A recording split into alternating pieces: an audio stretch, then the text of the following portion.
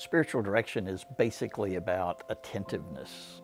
Uh, we have this belief that God is as close to us as our own breath, but we're so preoccupied with uh, the world and the noise about us that often uh, we're not paying very much attention to God. Having a spiritual director is an invitation to go deeper with God in the safety of someone I trust spiritual direction, that term is a little bit of a misnomer in that the director doesn't actually tell the other person what to do, but instead hopes to come alongside them and listen carefully and perhaps help them see where God is moving in their life experiences and in their relationship with God.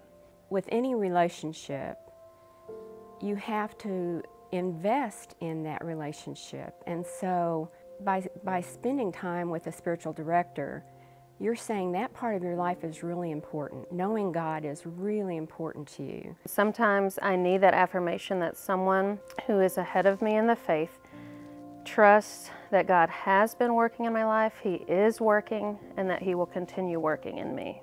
So, in spiritual direction, a director helps uh, the person being directed to pay attention to God uh, and the director pays uh, attention to God. So you basically have two people who are sitting together trying to uh, observe and think about what God might be doing in the present moment. There are probably many people here who would love to just spend an hour with somebody for no other purpose than paying attention to God.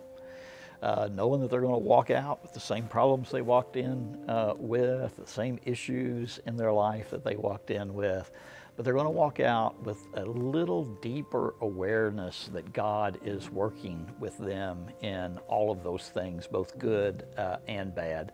And there's uh, no one who doesn't benefit uh, from that. If you'd like to learn more about spiritual direction, there's a table in the atrium today. There you can ask questions and get more information and to discover if spiritual direction might be helpful to you.